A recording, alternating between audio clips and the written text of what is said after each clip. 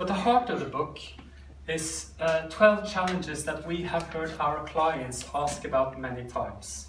And our hope is someone will pick the book up and think, oh, this one is exactly what I'm dealing with now. Maybe I could take a design approach to solve this challenge. So we have four around customers, four around business, and four around organization. This is just from uh, some our own customer insights. We know that on our website, the tools page is one of the most popular pages. Mm. So we thought, all right, then we need to get that in there as well. The one I'd like to share with you today is number 11, uh, which is a question, and, and, we're actually, in the last 18 months, we've seen more and more and more of this particular question. How can we become a customer-centric organization?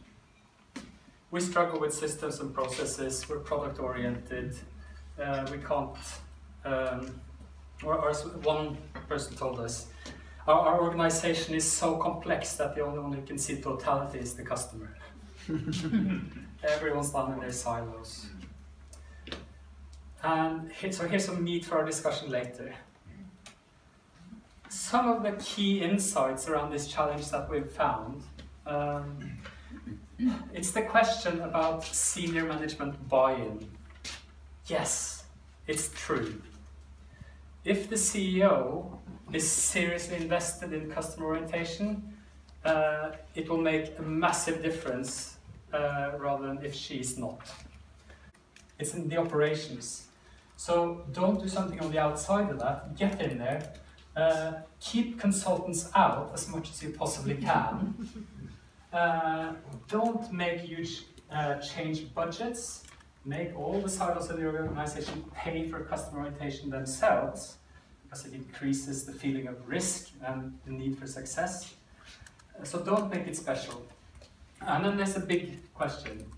What's the business case for customer centricity?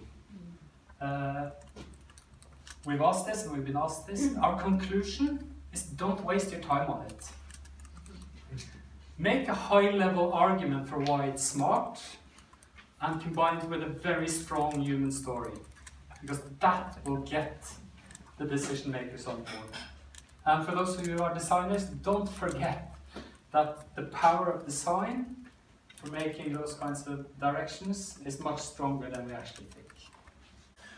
They were a 160 year old, very traditional insurance company. Um, old fashioned systems and old fashioned culture.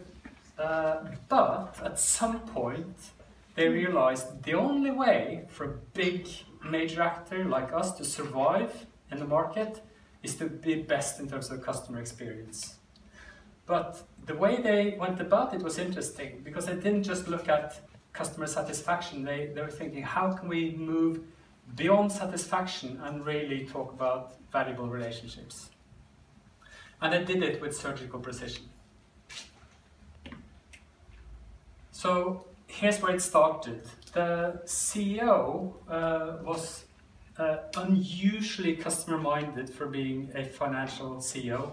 He came from FMCG before. So he knew about branding. And he set the strategic direction. We shall be the most customer oriented company in the Nordic insurance market.